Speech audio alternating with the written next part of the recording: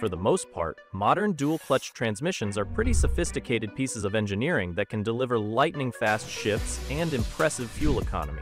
But there are still certain everyday driving habits that, over time, can cause catastrophically expensive damage to your transmission. One of the biggest things you should avoid doing with any dual clutch system is treating it like a conventional automatic transmission. I know it seems logical to drive it the same way you would drive any other automatic, but using traditional automatic driving techniques on a dual clutch system is a mistake that can literally cost you over $4,000 in repairs. The first and most destructive habit you can develop with a dual clutch transmission is allowing your car to creep forward in traffic the way you would with a conventional automatic. You release the brakes slightly and let the car drift forward at 2 or 3 miles per hour while using light brake pressure to control your speed.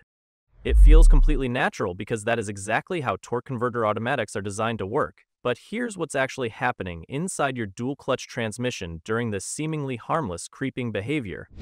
Your transmission is trying to engage the clutch to move the car forward, but you are controlling the speed with brake pressure, and this forces the clutch to slip continuously. Continuous slipping generates massive amounts of heat, and heat is what literally burns up clutch material and turns your sophisticated transmission into an expensive paperweight. Think about it this way. In a manual transmission, if you tried to hold the car at a slow crawl by partially engaging the clutch, while riding, the brake, you would burn out the clutch in a matter of hours. Your dual clutch transmission works on the same basic principle, except a computer is doing the clutch work instead of your left foot. The difference between your dual clutch system and a conventional automatic is crucial here. Traditional automatics use torque converters that can slip all day long without damage. Because the fluid coupling in a torque converter is designed to handle continuous slipping at low speeds, your dual clutch transmission does not have this luxury. When you force it to creep, the clutch pack has to slip to maintain that slow speed, and clutch friction material simply cannot handle continuous slipping the way a fluid coupling can. Real-world examples of this damage are everywhere once you know what to look for. Dual clutch transmission overheating affects multiple manufacturers, including Kia, Hyundai, Honda, Skoda, and Ford. The overheating problem appears consistently across different brands, and owners regularly report uncomfortable bucking and poor performance while stuck in heavy traffic. Every time you creep in traffic, every time you inch forward with the brake partially applied, you are generating heat that dry clutch systems simply cannot handle effectively. The second destructive mistake that makes the creeping problem exponentially worse is riding your brake while moving, which is absolutely devastating to dual clutch systems. You are creeping forward in traffic, and you are using light brake pressure to control your speed. This creates a situation where both systems are fighting each other, and the clutch bears the brunt of this mechanical conflict. Here's what brake riding does to your transmission. The transmission control unit monitors brake pedal pressure, and light or incomplete brake pressing may not fully disengage the clutch, causing it to slip like riding the clutch in a manual transmission. This damages the clutch over time because firm brake application leads to clutch disengagement, preventing clutch slip while light brake pressing keeps the clutch partially engaged and slipping. The manuals for many dual clutch systems specifically recommend applying brakes firmly when stopped in gear to protect the clutch, but most drivers never read this critical information, the type of dual clutch system in your car determines just how vulnerable it is to this kind of damage. Dry clutch systems are found in popular cars like the Ford Focus and Fiesta, many Hyundai and Kia models, some Honda vehicles, and various European cars. These systems are particularly sensitive because the clutches are not bathed in cooling oil like wet clutch systems. They rely primarily on air cooling, which means they have very limited ability to handle the heat generated by slipping, if you are driving one of these vehicles and you are using conventional automatic transmission techniques, you are essentially playing automotive roulette. Wet clutch systems like those found in Volkswagen DSG transmissions and BMW systems have their clutches bathed in oil that helps carry away heat and provides much better cooling. These systems can tolerate some creeping and low-speed maneuvering without immediate damage, though it is still not ideal for long-term durability. But even if you have a wet clutch system, you are not completely safe because excessive creeping and improper driving techniques will eventually cause problems, even with better cooling systems.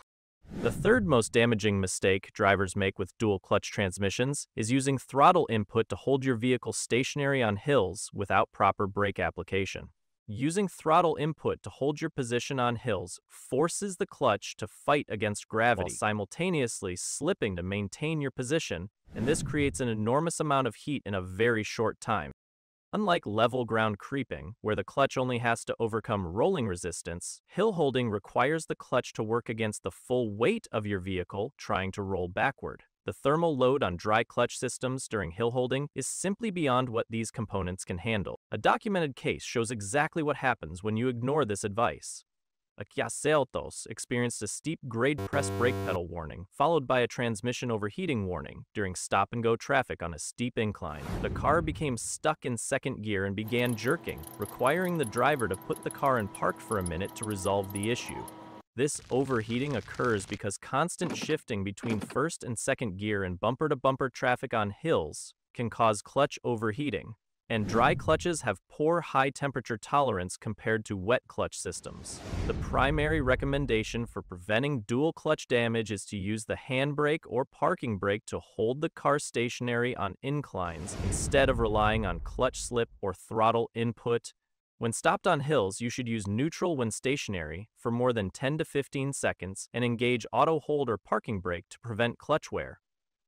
In stop-and-go traffic on hills, the key is avoiding creeping with the brake partially pressed for long durations, and instead use the brake fully or shift to neutral. The fourth destructive habit that can destroy your transmission faster than any other single action is misusing launch control and aggressive driving features. Drivers frequently misuse launch control by holding the brake while revving the engine with the accelerator pressed, which can damage the clutch as it tries to move against the brakes. While launch control features are entertaining, they put maximum stress on the clutch packs by engaging them at high RPM with maximum torque, which accelerates wear patterns significantly. The key is understanding that these features are designed for occasional use, not regular operation, and frequent use of launch control features accelerates clutch and axle wear substantially. The fifth critical error that can destroy your dual clutch transmission through simple neglect is skipping the fluid maintenance that keeps your transmission alive. The most critical factor in preventing dual clutch failure and extending lifespan is comprehensive fluid maintenance, including both actuator fluid and transmission fluid.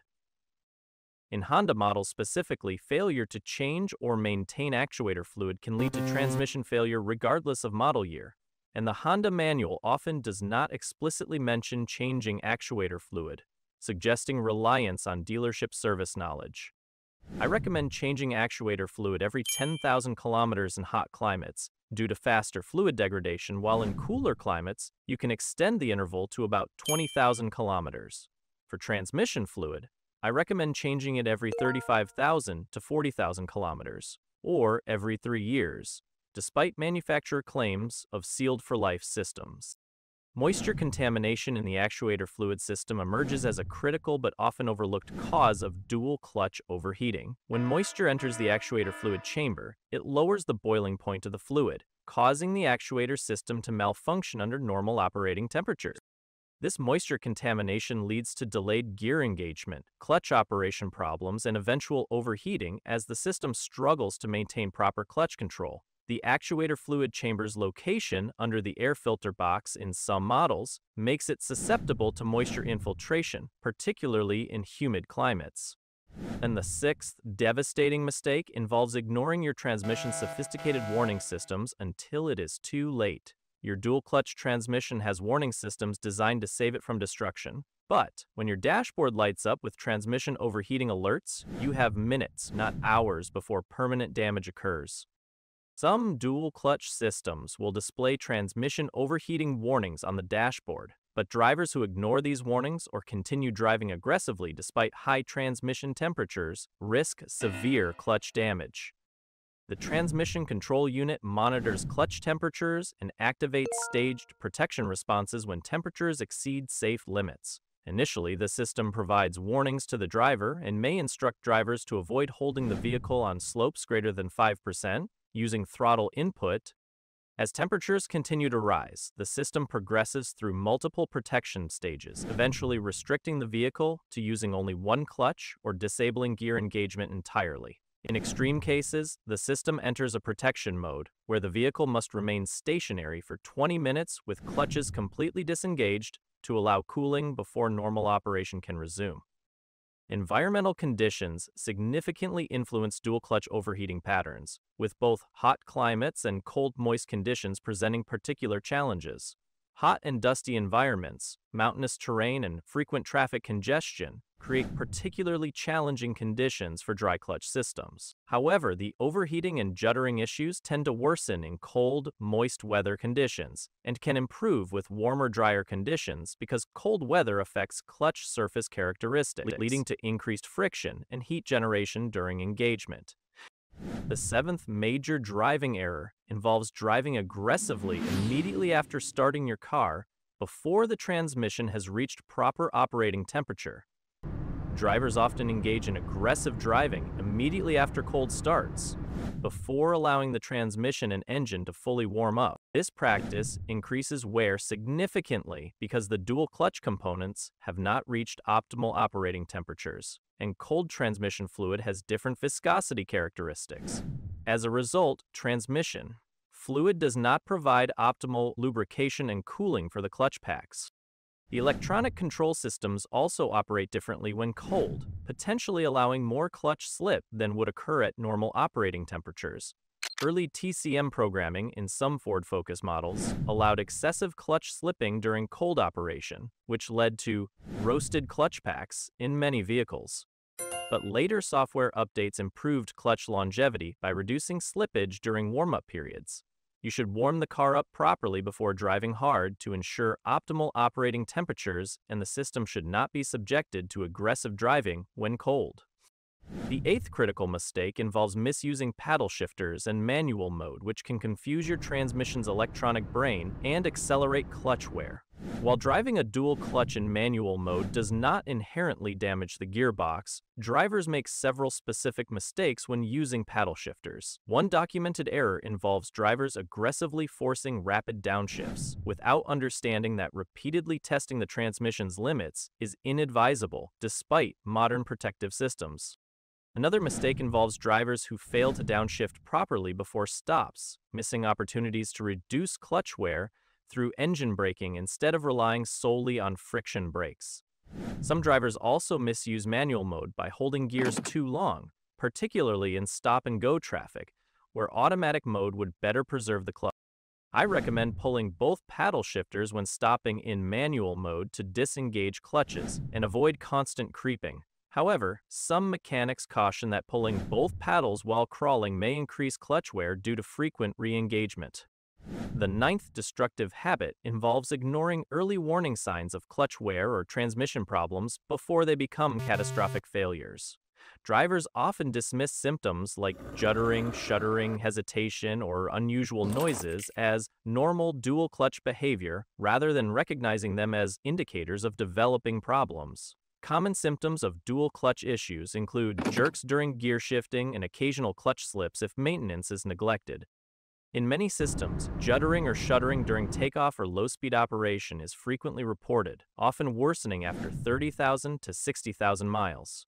Juddering and shuddering are most frequently reported issues with dry clutch systems, often occurring during cold moist weather conditions and at low speeds or when starting off.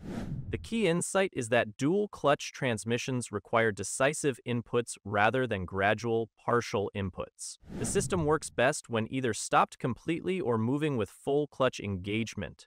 The middle ground of partial engagement causes expensive damage. To minimize clutch wear during traffic, keep your foot fully on the brake until ready to move. Then fully release the brake and apply gentle throttle to engage the clutch smoothly. Drive it like a manual by avoiding creeping and not lugging the engine. Like I said at the beginning, dual clutch transmissions are incredibly sophisticated pieces of engineering, but one of the fastest ways to turn that sophistication into an expensive paperweight is by treating it like something it is not Understanding that they require clutch engagement for power transfer and that driving technique directly impacts clutch health is essential for preventing costly repairs. the economic reality is that the difference between proper and improper dual clutch driving can literally mean the difference between 200,000 miles of reliable service and a catastrophic failure at 40,000 miles, with repair costs ranging from thousands for clutch replacement to tens of thousands for complete transmission rebuilds. Made it to the end? That means you actually care about keeping your transmission alive. Here's a wild fact. Your dual clutch can hit 400 degrees during aggressive driving, hot enough to literally cook an egg on your clutch pack.